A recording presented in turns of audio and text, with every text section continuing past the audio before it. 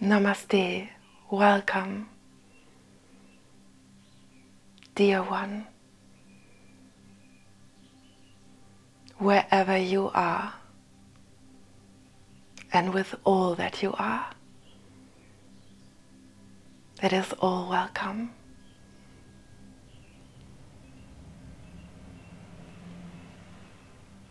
In this human life, we go through a lot of experiences, good and bad.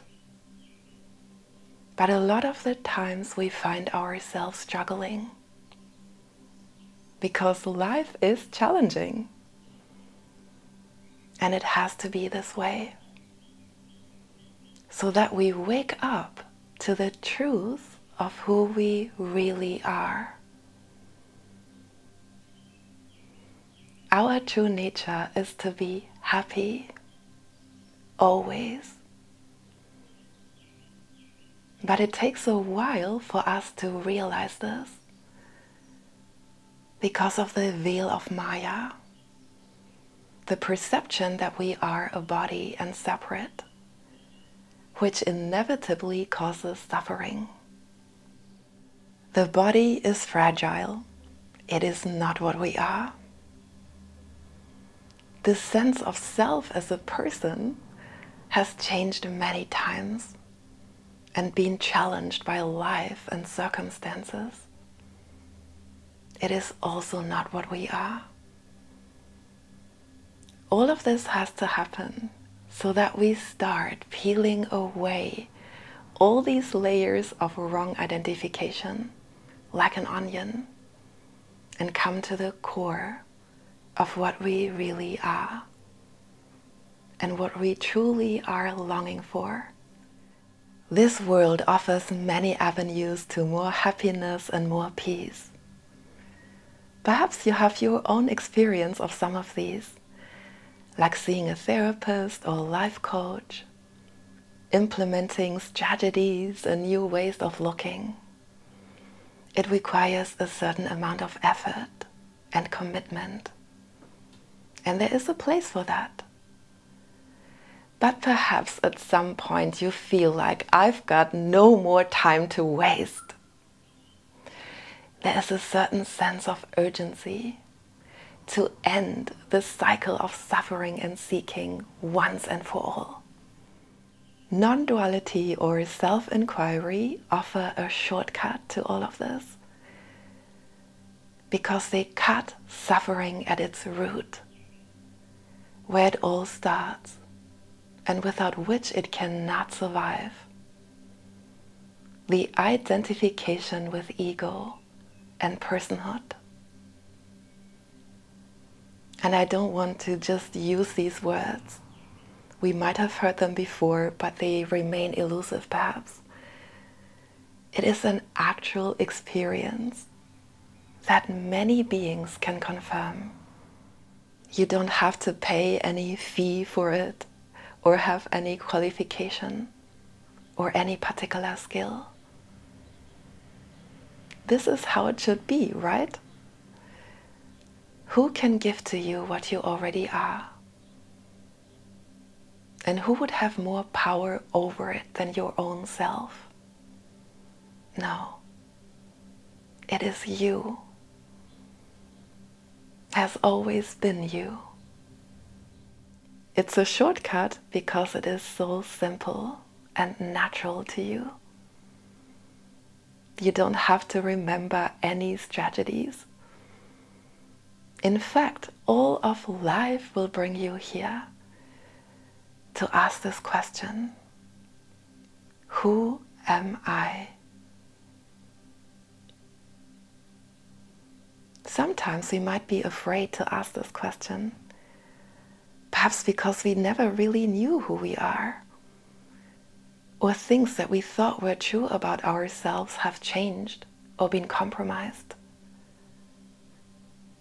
But know, dear one, that all of these experiences have brought you here to your greatest discovery of what is actually true and real and lasting.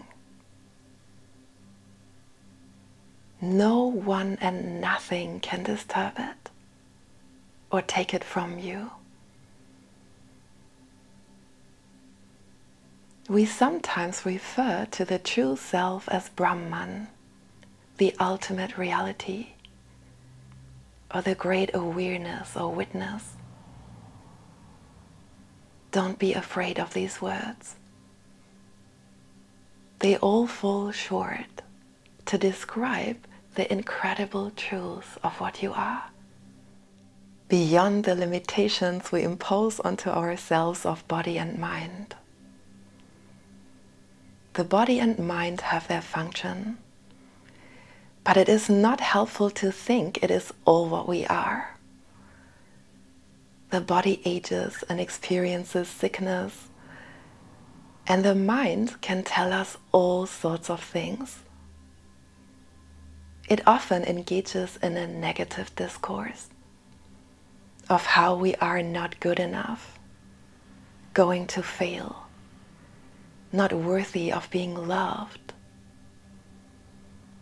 This negative narrative dampens our light, so we need to transcend it. Let's begin by being a witness to our thoughts rather than believing them and following them. Just for a moment, stop and take a distance to your thoughts. See them come and go. And the less attention you give to them, the shorter they will live. Can you see that a thought only has power if you give it your attention and believe? If you simply let it pass by, it cannot survive. Be like the sky, in which all things pass by. Thoughts, ideas, sensations in the body, boredom, restlessness. These are all brief appearances in the vastness of what you are. So, why give it so much attention? When you look at the sky, can you see how vast it is? It is not disturbed by the clouds or the rain, nor does it need the sun to shine. It simply holds the space. And it's not even doing that. It just is. This is like your own true nature. You can imagine your thoughts, your worries, the distractions, like those clouds in the sky. They may cause a reaction in your body, like the clouds may cause a shadow briefly on the earth. But it is not what you are. You are like the sky holding and beholding of all things passing. And you have the choice how much attention to give to them. Next time you go out into your life, put it to the test. When someone says something or does something that really hurts you or makes you angry, can you recall this image of the sky? and see the sensation of hurt or anger for what they are occurrences in the body that are passing through. And they only have power if you identify with them. It is hard for the person to do this and impossible for the mind to understand it. So we need to transcend both. Again, this is very simple when we continue this inner looking to see all the things that we are not, we can see that at our core we are not a mere person. this vast space in which all things arise is not personal. The sky is not personal. And this is not a negative thing. It is a liberation from all the imagined scenarios of hurt and trouble. So, next time these things happen, you can ask, who are they happening to? The one who believes to be the body that changes, the emotions, the thoughts, or the awareness in which all things appear? How can the awareness be affected? It has never been affected. And if you look more deeply, you can see that the awareness cannot remember any beginning or end. It just knows being. Some of these things might sound complex when in truth they are the simplest.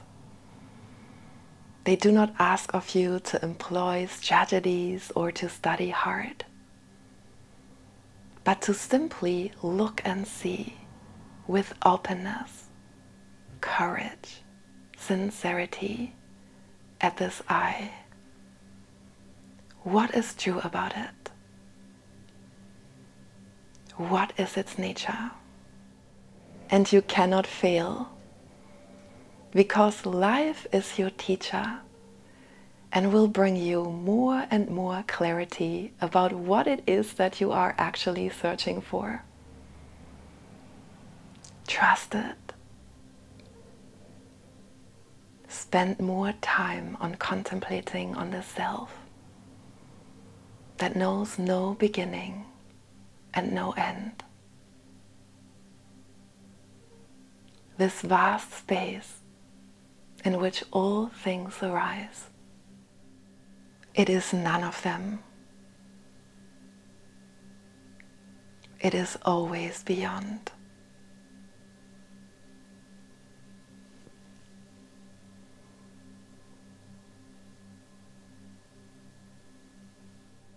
Thank you so much for watching. I hope you enjoyed this video please give it a thumbs up, share it with anyone you think can benefit, and if you like, subscribe to my channel so we can stay connected. All my love to you.